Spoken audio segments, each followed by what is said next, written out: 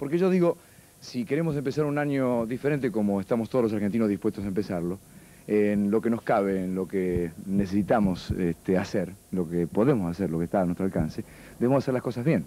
Es decir, mm, basta de decirlo y hacerlo. Y esto pertenece al 82. De todas maneras, a mi entender, fue una de las cosas mejores hechas en este ámbito, el ámbito musical, el ámbito de gran show, de gran espectáculo, de darle a la gente y entregarle lo que se merece después que pagó la entrada. Que, entre paréntesis, las entradas cuestan cada vez más. No porque cueste el espectáculo cada vez más, sino porque nos duele en el bolsillo cada vez más. Entonces, lo único que se puede hacer de este lado es mostrar la cosa bien, bien hecha, ¿no? Y esto pertenece al 82. Claro, fue sobre el final, pero lo estamos presentando en el 83 y no es casualidad. Si lo hacemos es porque creemos en este año. ¿O no, Charlie García? Creemos, creemos, creemos. Sí, claro que sí, claro que sí.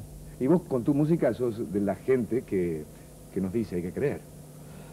Sí, sí. O sea, estoy en eso, estoy en, hacer las cosas bien, ¿no? Y tocar y hacer cosas como la de Ferro y todo eso.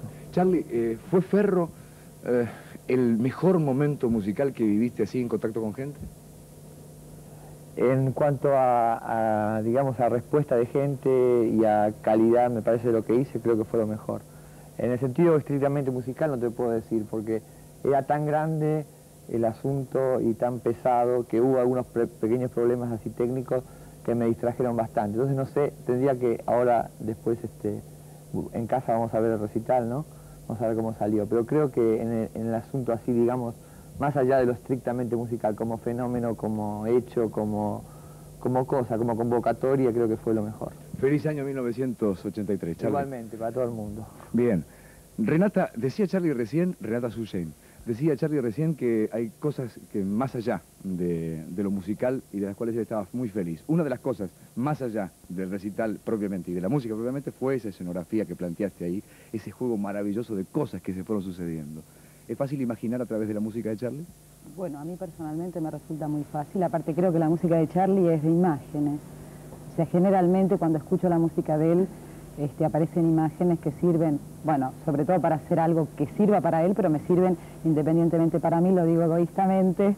O sea, muchas veces que fui a escuchar grabaciones o que escuché temas, utilicé cosas para dibujos míos, para exposiciones.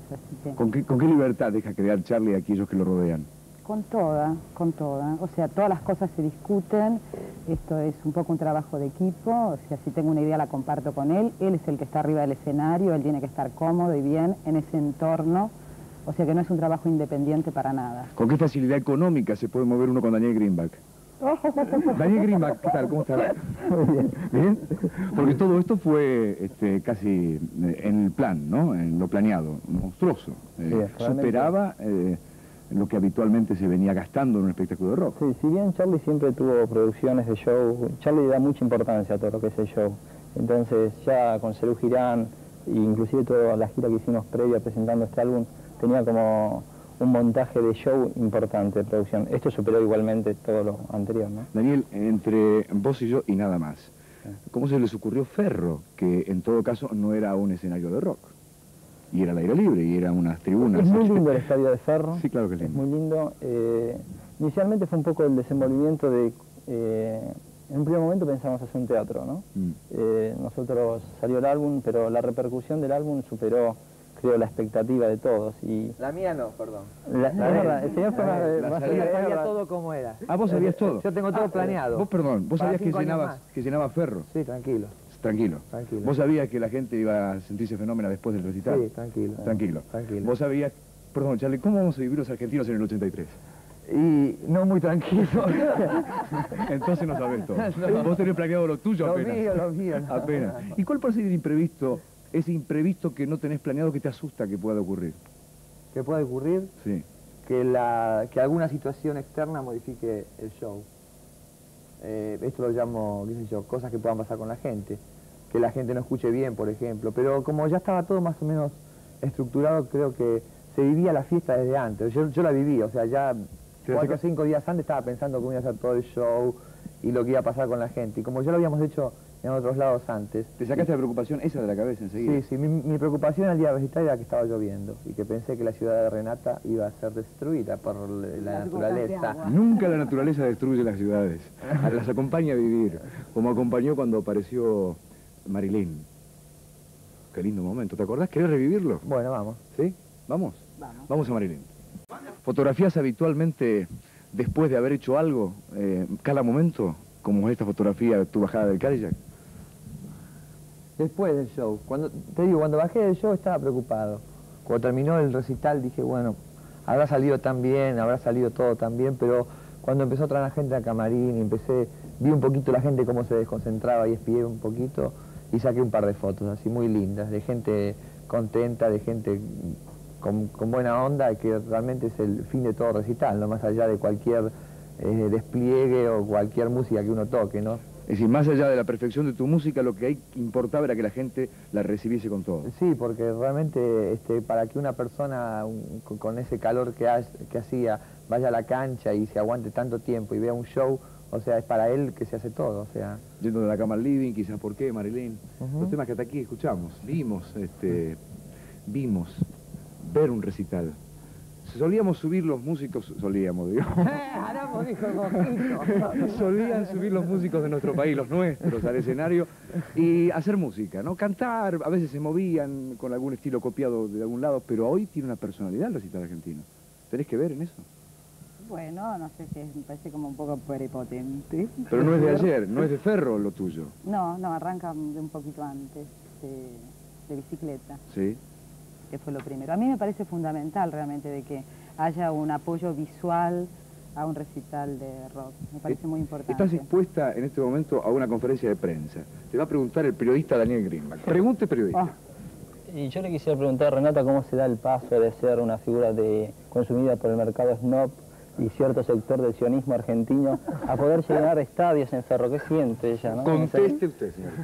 Yo estoy muy contenta de haber conocido Caballito, que realmente que lo rescato de esta experiencia fundamental. Que nunca había ido a Caballito y gracias a Charlie y a Daniela he conocido a Caballito. Bueno, el próximo paso será la cancha de Nueva Chicago, la cual ya Ahí se está armando. ahí estaremos. ¿Eh? Bueno, porque todo tiene valor. Yo creo que, eh, ¿no creen ustedes que la relación de, de los diferentes mundos que coexisten, y es cierto, en una misma ciudad como la nuestra que es grande, ¿no? Eh, deben, deben tener puntos... No, además que es, eh, qué sé yo, es una cosa que siempre me preocupó a mí, como no aislar al rock o como Claro. quieras llamar ese tipo de música de lo demás. Sí.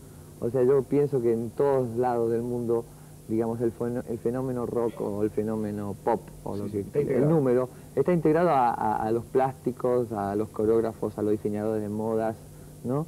O sea, todo el mundo, digamos, cambia ideas. Y acá un poco el rock siempre estuvo un poco lejos, ¿no? Como, eh, bueno, un- el tipo que hace el espectáculo decide las luces y, y de repente hay gente que sabe más que uno y gente que puede aportar un montón de ideas. Y cuando se da un caso así como con Renata, que nos conocemos de años, y podemos fantasear cosas y proyectarlas así para la gente, es fantástico. Yo creo que, por ejemplo, si en Ferro no hubiera habido ningún escenario o ningún tipo de montaje, la gente que estaba a 150 metros no vería nada, vería unos monitos ahí en, en- en la nada. O sea, creo que todo eso sirve como punto de referencia, incluso para el sonido ayuda, ¿no? Porque todo el mundo dirige la vista hacia un punto, un montón de cosas que... Hay gente que sabe. Y aparte yo creo que, este, que nos divertimos mucho. Nos divertimos mucho. O sea, también es fundamental eh, cuando vos haces algo, disfrutarlo, ¿no? Porque ¿para qué vas a hacer una ciudad de 20 metros y un recital increíble para estar todo el tiempo pensando va a salir mal todo? Sí. O sea, estábamos jugados realmente como, creo que como el pibe que va a comprar la entrada al recital porque sabe que se va a divertir.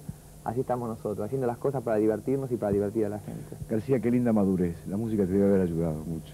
Mira, la verdad. Oíme, oíme, hay, este, hay un momento de recital que sorprende a muchos, porque lo de Pedro no todos lo sabían.